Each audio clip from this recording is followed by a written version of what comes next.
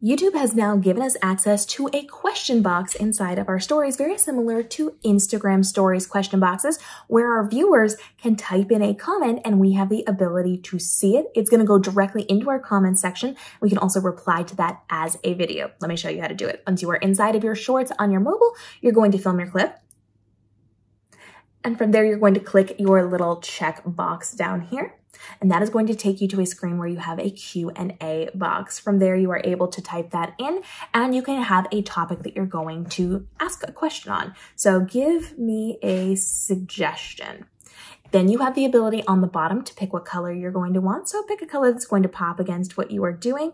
And you have the ability to then move that around on screen wherever you are going to need that to be and then you are just going to be able to post from there. You have your timeline, you have your next, so you can adjust it if needed, and you can just put it out on your social media. Then you have the ability to, of course, use that as a way to have a conversation with your audience. So you want to make sure you're asking for opinions. You want to make sure you're asking for choice A or choice B. Pick between these two. You can ask them for recommendations, anything that's going to get them to easily put in a one or two word answer. Keep it very, very simple. And all of those things are then going to go into the comments of that video. So when they type it in the question box, it's not like they're pulling up extra things to be able to comment. They are just answering very quickly inside of that question box. It automatically goes into the comment section. From there, you can then respond to it like a normal comment. You also have the ability to tap on to do a video reply. I will link a video on how to do that down below in the caption for you.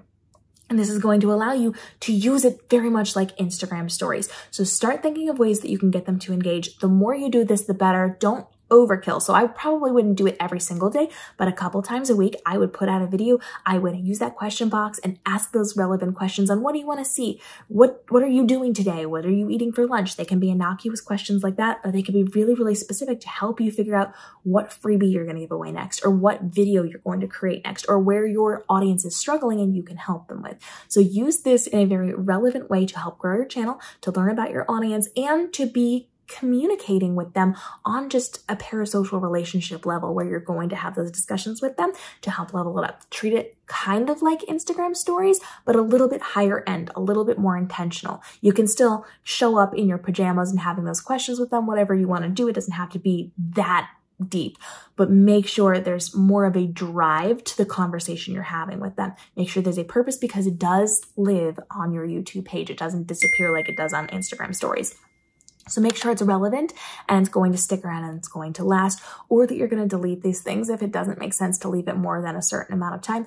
It is not Instagram stories.